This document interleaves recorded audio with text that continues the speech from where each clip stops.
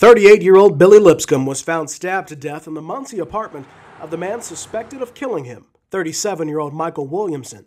Witnesses say Williamson ran from the home at 613 Jackson Street and into the village pantry next door, where police say he called 911. Really don't know what they was doing inside. I didn't hear nothing.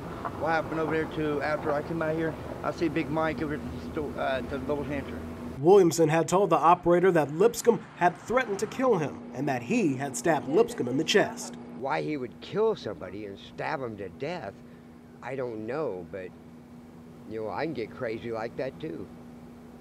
You know, somebody somebody threatens my life.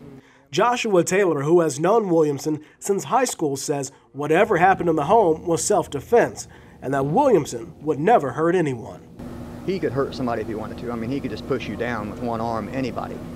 And I, have seen people hit him and him just turn his cheek, walk away. He's not violent by nature whatsoever. He's never been arrested in his life for any type of violent crime. At 40 something years old, you just don't flip a switch and murder somebody for no reason. It just don't happen.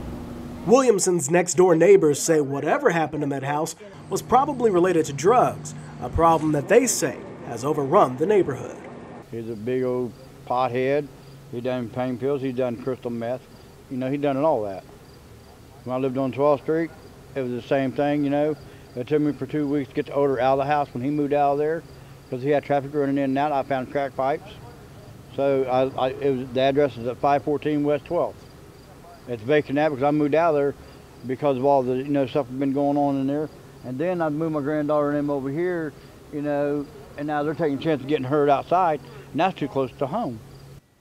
Williamson has been charged with murder and booked in the Delaware County Jail. As for the victim, 38 year old Billy Lipscomb, he's the same man that made headlines last month after he was found guilty of robbing his mother for her cell phone. He was serving two years probation.